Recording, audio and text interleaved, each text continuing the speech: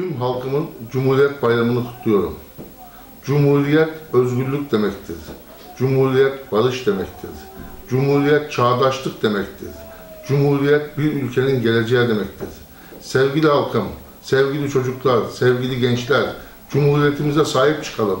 Bu Cumhuriyet çok zor şartlarda çağdaş, modern bir ülke olduk. Onun için hep birlikte, hep birazdan yaşasın Cumhuriyet diyelim. Yaşasın Cumhuriyet.